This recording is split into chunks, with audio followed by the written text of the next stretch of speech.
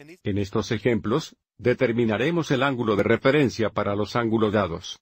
El ángulo de referencia es el ángulo agudo formado por el lado del terminal del ángulo dado en el eje X. Así que avancemos y comencemos dibujando este ángulo en la posición estándar.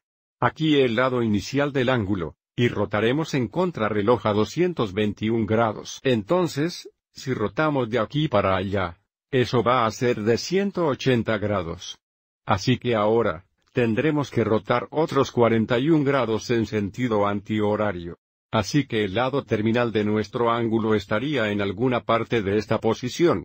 Así que el ángulo agudo formado por este lado de la terminal en el eje X sería este ángulo aquí, y la medida de este sería la medida del ángulo de referencia. Entonces, si este 180 y lo rotamos 41 grados más, entonces 41 grados es nuestro ángulo de referencia. Para indicar el ángulo de referencia, a menudo usamos θ prime y otra vez que son 41 grados. Los ángulos de referencia de la razón son tan importantes, si este ángulo aquí es un ángulo en uno de nuestros triángulos de referencia especiales, como 30, 60 o 45, podemos construir el triángulo de referencia bosqueando un perpendicular del eje X al lado de la terminal, y podemos utilizar este triángulo de referencia para determinar los valores de la función trig. Echemos un vistazo a dos ejemplos más. Aquí tenemos 347 grados. Así que vamos adelante y búscalo en una posición estándar. De nuevo, rotaremos en reloj a 347 grados. Esta rotación aquí sería 270 grados. Entonces, si restamos 270 grados, debemos rotar otros 77 grados.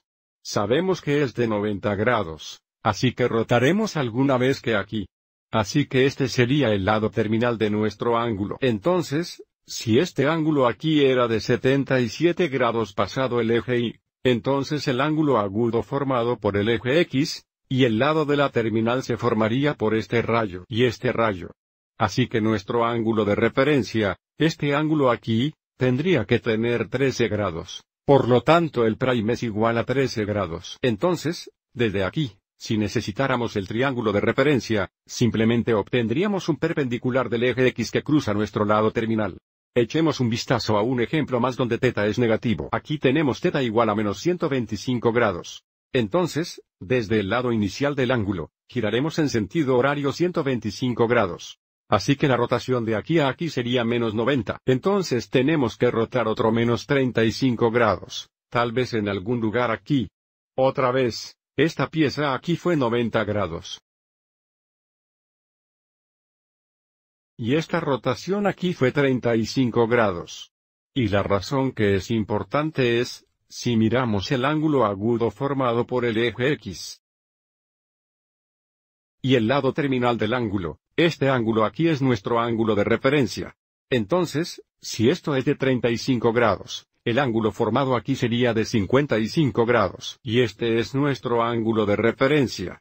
Tan otra vez desde aquí si necesitamos el triángulo de referencia, debemos estrechar un perpendicular del eje X que intersecta el lado terminal del ángulo,